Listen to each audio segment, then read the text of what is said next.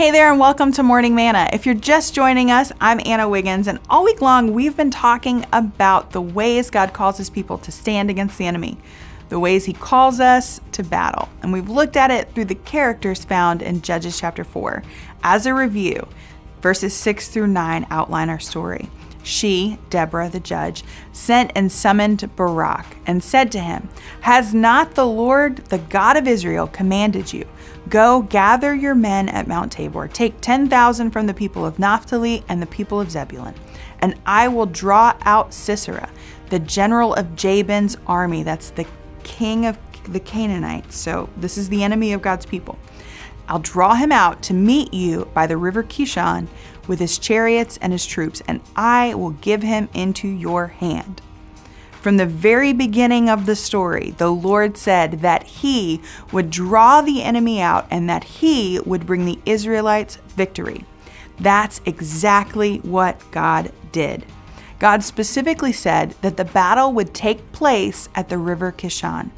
This wasn't a large river, it was basically a stream of water in the desert. Nothing of consequence. The Canaanite army vastly outmatched the Israelites in number and weaponry. They had 10 times the number of soldiers and were equipped with 900 chariots made of iron against 10,000 ill equipped men from Israel. But the Lord had promised to deliver a decisive victory to his people. If you read Judges chapter 5, you, you read a poem from Deborah. And verses 20 and 21 tell us that as the battle began, God opened up the heavens and a rainstorm caused a flash flood that disabled the heavy iron chariots in the mud and water. A torrential downpour in the middle of the dry season rendered Sisera's army defenseless at the hands of the Israelites. Who but God could have commanded the weather? God called his people to battle, but the battle always belonged to the Lord. Every one of us is called to battle. It's not something unique, it's something innate, placed in us by God. He placed within us the heart of a warrior because he's the ultimate victor and we're created in his image to reflect his heart. And he's given us his authority to accomplish his purposes and he calls us to battle.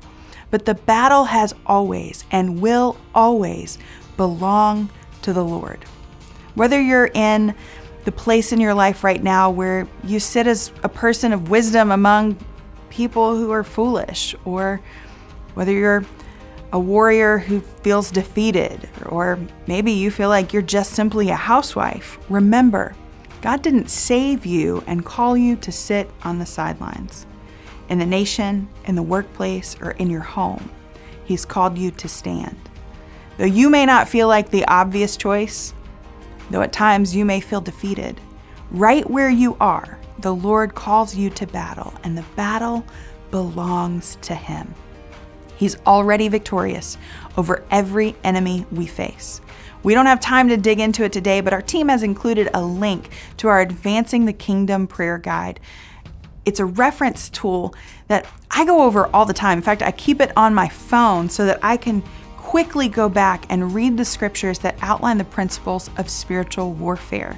That's the key because remember, Ephesians 6, we talked about the armor of God. Verse 12 tells us that no matter what it looks like to us, our struggle is not against flesh and blood, but against the rulers and against the authorities, against the powers of this dark world, against the spiritual forces of evil in the heavenly realms. We stand in the battle by standing on the truth of the Word of God. Like I said, I keep that guide on my phone, not only so that I can use it, but also so when people call me, I can quickly share it with them so they can read the scripture for themselves and stand on His Word. Well, it's been a privilege to spend this time with you throughout the week. God bless you.